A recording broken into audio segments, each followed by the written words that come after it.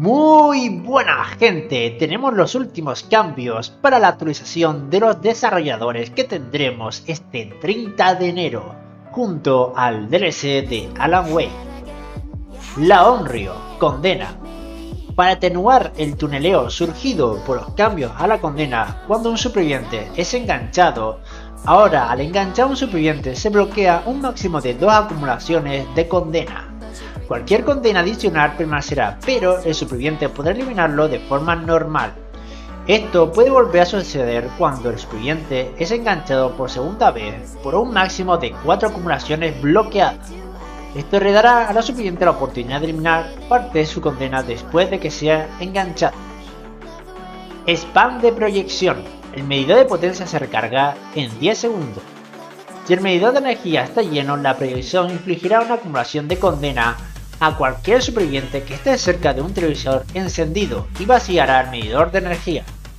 Si el medidor de potencia no está lleno, la proyección no causará condena y el medidor de potencia no se reiniciará. Esto permitirá a la Onryo que se mueva libremente por el mapa, pero evitará que condena se construya rápidamente al transportarse repetidamente a varios televisores. El deterioro, compuesto 33. En la PTB, este complemento aumentaba la tasa de giro en un 33% por cada acometida consecutiva. El efecto termina siendo más fuerte e hizo que los ataques rápidos fueran muy difíciles de evitar para los supervivientes.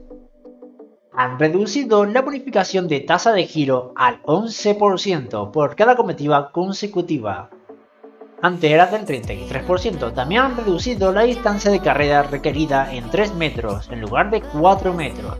De se puede acumular hasta 3 veces. Etiqueta iridiscente. En la PTB, este complemento le dio al deterioro un suministro interminable de ráfagas a cambio de poner su poder en tiempo de reutilización después de un ataque de ráfaga exitoso. Resultó ser que esta desventaja no era suficiente para mantener este complemento bajo control, por lo que han hecho algunos ajustes. Un ataque de acometida exitoso o fallido hacia un palet con el asesor equipado ahora hará que el poder entre en enfriamiento durante 20 segundos.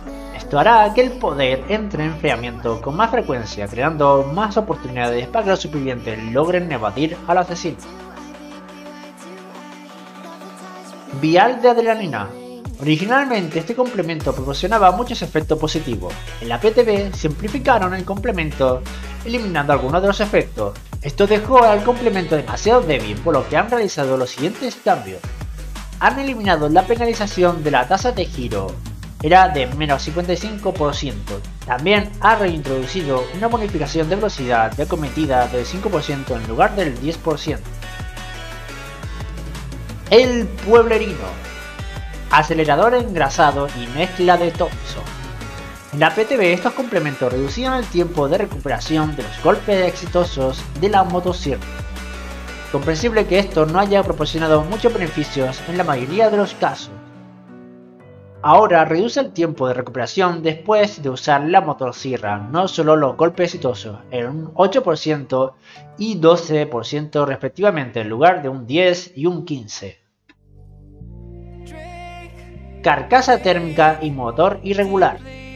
Ajustes numéricos simples para estos.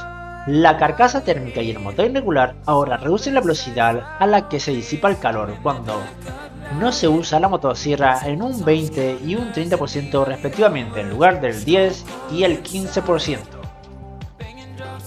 Filtro de aire desechado y tornillo tensor de alta velocidad.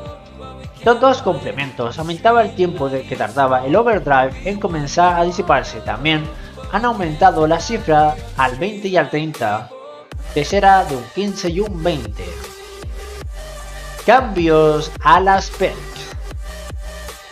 Dejarlo mejor para el final. Durante la PTB, estas perks perdían tokens cada vez que la obsesión perdiera un estado de salud por cualquier medio. Te permitía a la obsesión hacer cosas tontas como permitirse sangrar intencionadamente por herida profunda para reducir las fichas del asesino. Déjalo mejor para el final, ahora pierde dos fichas cada vez que la obsesión es golpeada por un ataque básico o un ataque especial. De esta manera la sesión tendrá que estar en peligro real para reducir las fichas acumuladas del asesino. Gambito rápido. La PTB presentó un cambio para Gambito rápido que aumentaba su alcance efectivo y simultáneamente reducía la bonificación de velocidad de reparación. Muchos sintieron que esta reducción de la velocidad de reparación no valía el riesgo adicional de llevar al asesino a sus compañeros de equipo en reparación. Por lo tanto, han revertido la bonificación de reparación. Gambito rápido ahora proporcionará una bonificación de velocidad de reparación de 6, 7 y 8% a los supervivientes en un radio de 36 metros. Abrazo sombrío más interruptor del hombre muerto. Se informó que esta combinación de habilidades era potencialmente problemática. En la PTV, cuando se activa Abrazo Sombrío, los supervivientes se ven obligados a dejar de reparar el generador, lo que hace que el interruptor del hombre muerto se active y bloquee el generador durante un periodo de tiempo aún más largo. Esto le da al asesino una forma consistente de activar el interruptor de hombre muerto en todos los generadores y así aprovechar casi toda la duración. Aunque este combo requiere dos espacios de ventaja, esto puede provocar que los generadores queden bloqueados durante bastante tiempo. Para estas dos per de momento no hay cambios, pero están investigando cómo nivelarlas. Con esto terminamos de revisar los últimos cambios para esta actualización que nos espera el 30 de enero. Así que ya sabéis, dale like, suscribiros y nos vemos. Adiós.